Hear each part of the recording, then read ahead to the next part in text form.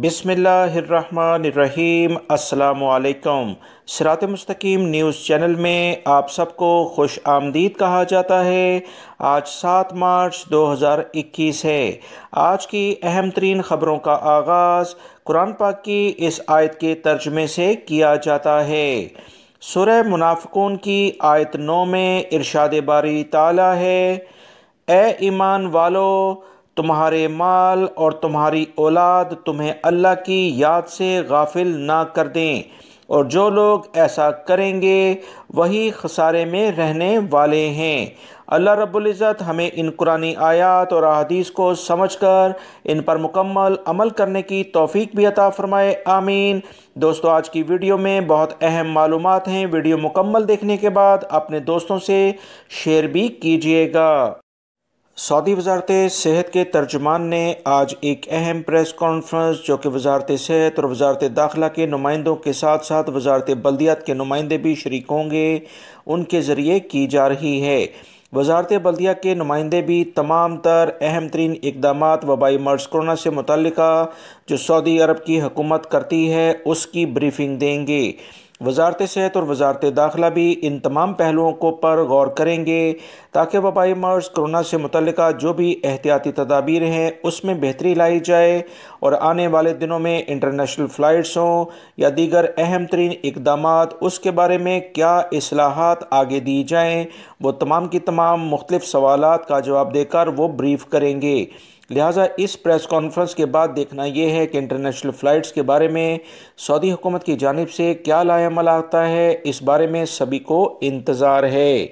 जैसे ही दोस्तों कोई ख़बर आएगी फ़ौर हमेशा की तरह अपने चैनल्स पर शेयर करता रहूँगा। लिहाजा वीडियोज़ को मुकम्मल देखने के बाद दोस्तों से शेयर भी कर दिया करें, ताकि वो लोग जिन तक ये वीडियोज़ की जो लिंक्स हैं वो नहीं पहुँच पाते, वो उनको भी मिल सके। सऊदी महकमे पासपोर्ट, जिसे जवाजात कहा जाता है, उनकी जानब से इतलात शेयर हुई हैं कि खरूज आउद यानी छुट्टी वाले वीज़ा, या खरूज नहाया, जिसे फ़ाइनल एग्ज़िट वीज़ा कहते हैं, इस पर जाने वाले अफराद के पास लाजमी तौर पर फ़जाई कंपनी का कन्फर्म टिकट होना चाहिए। याद रहे, सऊदी अरब में वबाई मर्स कोरोना की दूसरी लहर के बायस, पाकिस्तान समेत 20 ममालिक के शहरीों के लिए आर्जी तौर पर एक तरफा सफरी पाबंदी आयद की गई है। जिन ममालिक में वबाई मर्ज कोरोना की पाबंदी आयद है, इन ममालिक के अफराद जो ममलिकत में मुकीम हैं, इन्हें ममलिकत से जाने की तो इजाज़त है, मगर अभी वो वापस नहीं आ पा रहे हैं। जवाजात की जानब से कहा गया है कि इन्हें अच्छी तरह से मालूम है कि किन अफराद के वीज़े ख़त्म हो रहे हैं और किन अफराद के अकामे ख़त्म हो रहे हैं, लिहाजा अपने कफ़ीलों और कंपनियों से रबता किया जाए ताकि वबाई मर्ज कोरोना की बिना पर जो भी इंटरनेशनल परवाज़ें बंद हैं, इनके कफ़ील, इनके गैर मुल्की मुलाजमिन के, उनके मुल्कों में मौजूद होते हुए ही उनके वीज़े और उनके अकामे तजदीद करवा सकते हैं। जवाजात ने ऑनलाइन ये सहूलत तमाम कंपनी और कफ़ीलों को दे रखी है। लिहाजा इस बारे में सऊदी हुकूमत की जानब से अभी फ़िलवक्त कोई रियायत मिलने का इम्कान नज़र नहीं आता। लिहाजा तमाम गैर मुल्की अफराद फ़ौर अपने कफ़ीलों कंपनियों से रजू करें जिनके वीज़े और अकामे ख़त्म हो गए हैं। सऊदी वजारत सेहत के वज़ीर डॉक्टर तौफ़ीक रबिया ने तमाम सऊदी शहरी और गैर मुल्की अफराद से अपील की है कि वबाई मर्ज़ कोरोना की जो वैक्सीन है, उसे लाजमी तौर पर लगवाएँ। सेहत ऐप्स के ज़रिए अपने आप को रजिस्टर करें ताकि हम नॉर्मल ज़िंदगी की जानब आ सकें। वैक्सीन लगवाने से आप वबाई मर्ज कोरोना से मुतल जो भी एहतियाती तदाबीर हैं, उसमें टॉप लेवल पर आएँगे, क्योंकि वैक्सीन के बाद इस वबाई मर्ज के असरानंदाज होने के इम्कान बहुत कम हो जाते हैं। वबाई मर्ज कोरोना से मुतल सऊदी हुकूमत की जो भी वैक्सीन है, अब ये आम मेडिकल स्टोर्स पर इन बहुत जल्द दस्तियाब होगी। सऊदी वजारत सेहत, मुख्तलिफ़ हॉस्पिटल्स, मुख्तलिफ़ कैंपों में और ड्राइविंग के दौरान, यानी कि गाड़ी में बैठे बैठे आपको वैक्सीन की सहूलियात मुहैया कर रहे हैं। सऊदी हुकूमत का अपनी आवाम के लिए ये बेहतरीन इकदाम हैं, जिसे पूरी दुनिया तारीफ़ की नज़र से देख रही है।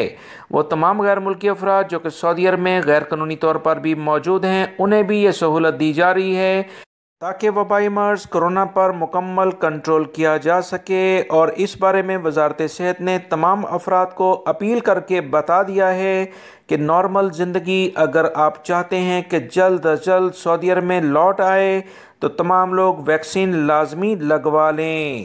सऊदी अरब के मशरकी रीजन, जो कि दमाम का इलाका है, बल्दिया की टीमों ने एक बहुत बड़ी कार्रवाई की है, जिसमें सब्ज़ी मंडी से सात टन से जायद ख़राब अंडे पकड़े गए हैं और इन्हें बाकायदा ज़ाया भी कर दिया गया है। ख़राब अंडे मार्केट में फ़रोख्त के लिए लाए गए थे। सऊदी वजारत बल्दिया के इदारे ने मशरकी रीजन की बल्दिया को मुबारकबाद दी है कि उन्होंने एक बहुत बड़ी कार्रवाई करके अवाम की सेहत से खेलने वाले अफराद को अहम तरीन कार्रवाई करते हुए गिरफ़्तार कर लिया है। मशरकी रीजन बल्दिया के तर्जमान ने बताया कि बल्दिया के इदारे के इंस्पेक्टर्स की जानब से बड़ी कार्रवाई की गई है, जिसमें सब्ज़ी मंडी का विज़िट करते हुए वहाँ फ़रोख्त करने वाले, लाए जाने वाले अंडों का जायज़ा लिया तो मालूम हुआ कि वो ख़राब हैं। इस बारे में शोबे के ज़िम्मेदारों ने फौरी तौर पर तमाम अंडों की खेप कब्ज़े में ले ली और बल्दिया की मखसूस टीमों को बुला लिया गया।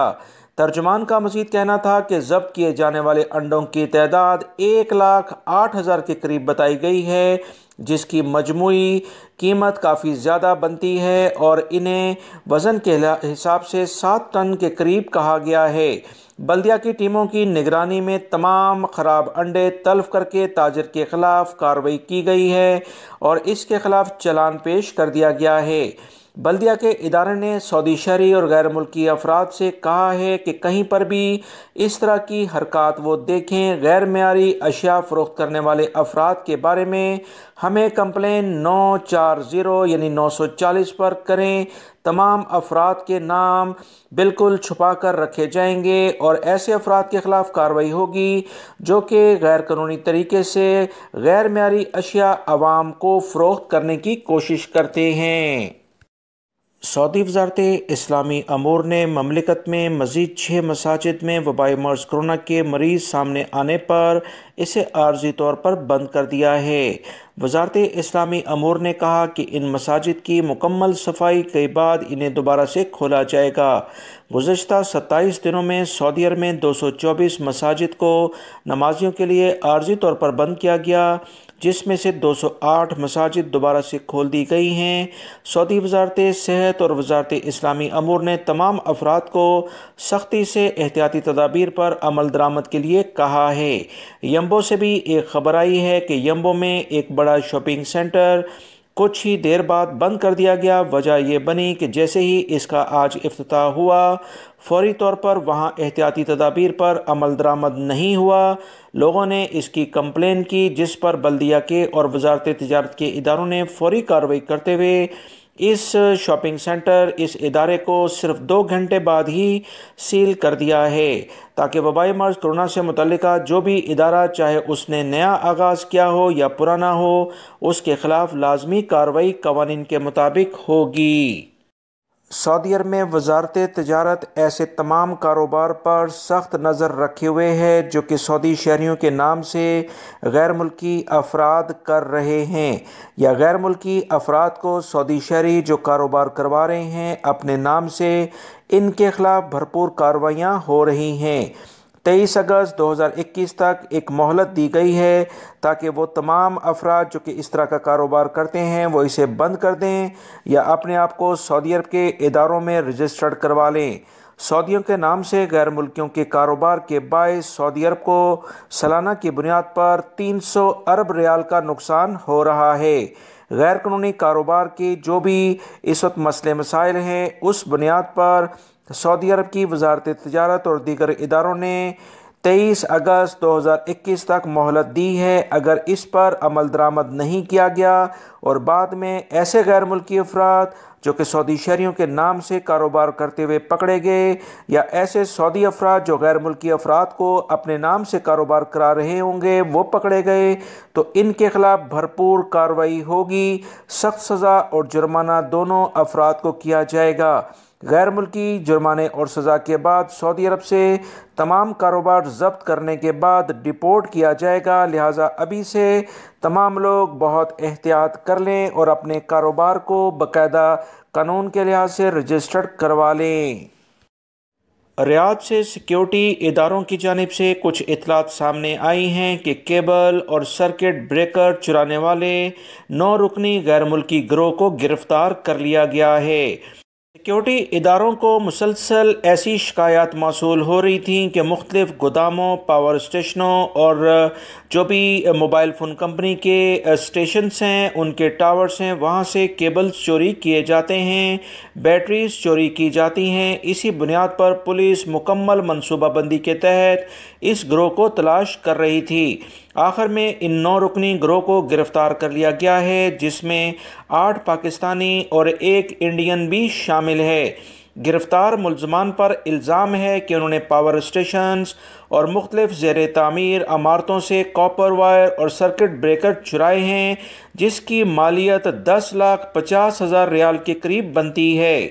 पुलिस मुलजमान से इब्तदाई बयान लेने के बाद इसका केस तहकीकाती इदारे के हवाले कर चुकी है, जहाँ मज़ीद तफ्तीश करके इनके ख़िलाफ़ चलान अदालत में भेजा जाएगा और इनके केस को मुकम्मल होने के बाद सज़ा जुर्माना होगा और इसके बाद सारे लोग डिपोर्ट किए जाएँगे और दोबारा सऊदी अरब में किसी भी वीज़े पर ये अफराद नहीं आ सकते हैं।